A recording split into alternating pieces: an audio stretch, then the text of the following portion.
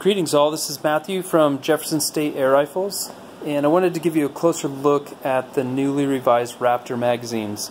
So we're coming in with 22 cal, 25, 30, and 357. They're able to hold as many as 14 rounds in the 22, 12 in the 25, 10 in the 30, and 8 in the 357. And I'll point out that these clear lids there are two different kinds.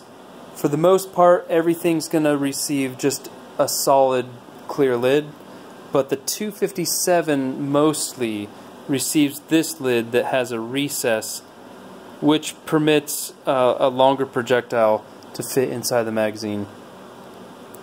And then the rest of the housing is uh, aluminum billet with uh, machined and nice black anodized and they now feature this O-ring to help hold the projectile and I elongated the internal machined feature on the housing, the pellet stop. I increased the length and I put a nice chamfer on it. Uh, I made it as long as I could without denigrating the structure of the wheel and put a nice chamfer so that it just helped provide the smoothest entry into the chamber as possible and to demonstrate the, the filling uh, have it stop in the middle there so that after you've shot your last pellet you don't just waste your air. Uh, so we'll rotate to an open slot. I've got some 30 pellets here. I can just drop those in. And you might have to use the tip of your finger to help it pass that o-ring a little bit. And I personally and you just keep going. I like to get to the for the 30 there's it can hold 10 so I'll get to the ninth one. And then I like to give it a little tap just to make sure all the pellet heads get past that o-ring. Some of them I can feel them going past but if they didn't get all the way I'll get to this ninth one and then I'll, I'll rotate it and then just give it a little tap make sure all the heads got seated if I were to put that 10th one in and tap it, sometimes that can fall all the way through.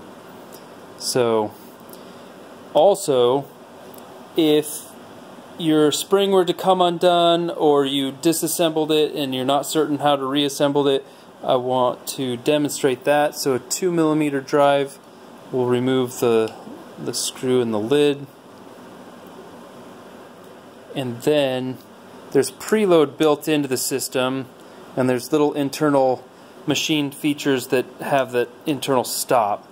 So take the tension off that stop, lift it a little bit, and let it rotate past to take that preload out. Now should be at neutral because I only jumped the stop once.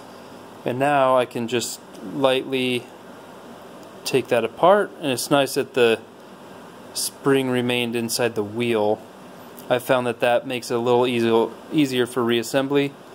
And you'll see that now there's three little holes concentric around the center hub, but in a triangular fashion, so that this end of the spring will go through. The other end of the spring is through that little hole. And I found, for the most part, this lower position is a good starting point. But depending on how heavy your projectiles are. You need a little bit more or a little bit less spring force. You might choose a different hole here. But for the most part, that bottom one's a good starting point.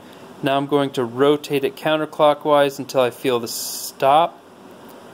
And then I'm going to gently lift it, turn it past that stop, and now we have the preload built in.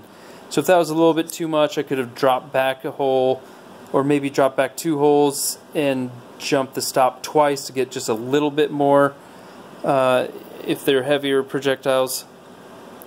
But you don't want too much spring force on your lighter projectiles that might actually cause them to be dented. Every little bit counts. So this 2 millimeter screw and we're back together. So, there you have it. I hope you enjoy them. Thanks, guys. Have fun. Shoot responsibly.